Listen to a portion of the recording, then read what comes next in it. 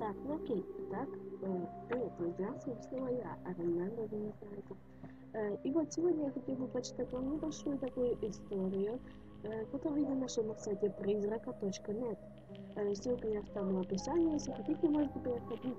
Э, извините, фотки не поставлю, потому что э, очень тяжело искать, и при том, чтобы персонажи были э, одинаковые и похожие на каждый фото. Итак, ну что ж, давайте начнем с факты. Итак, начинаем. Одна девочка Маша училась в пятом классе. И вот начался русский язык. Рядом с Машей сидела противная девочка Соня, тупая как пробка. Знала только, как разбирать слова по составу. И только, и только, э, и только это научилась делать. Сегодня их, э, их учительница русского языка не пришла. Говорит, заболела сильно она. Другая учительница, звали Лариса Ивановна, и говорит она, откройте учебник на странице, на странице 134, упражнение 100. В доске пойдет София. Лариса Ивановна, я, я, я не могу, я не знаю, закричала Соня и заплакала.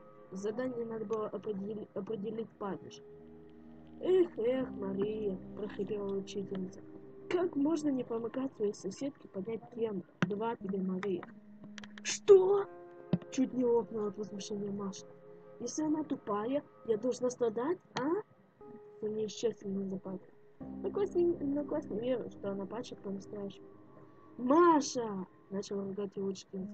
Как ты вообще можешь так говорить? Не плачь, Сонечка, Сонечка, ты получаешь шесть. Весь класс был ошарашен. Такие оценки запрещено было ставить даже отличник. Вечером Маша все рассказала маме.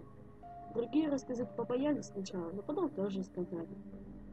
Мама Маша собрала подписи, чтобы учительницу уволить. Написала на нее жалобу. И в итоге ее уволили. Она разозлилась и крикнула Маше, когда уже уходила из школы. «Я еще вернусь! Соня не будет получать двойки!» Спит ночью Маша, чувствует боль в теле, открывает глаза и видит ту самую учительницу. Она режет ей ногу. Маша захотела закричать, но не могла. Вторая рука учительницы сильно сжала ее горло. И через час Маша умерла. Хотя спасти ее все-таки удалось, мама вовремя прибежала. Но училки уже не было. Маша лежала полумертвой.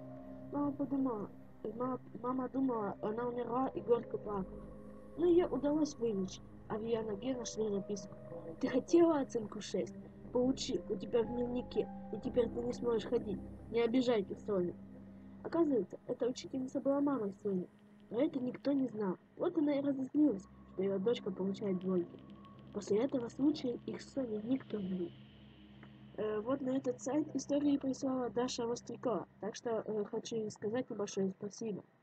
Ну, э, а мы заканчиваем. К сожалению, это конец. И э, подписывайтесь на мой канал, ставьте лайки. И, короче, всем пока.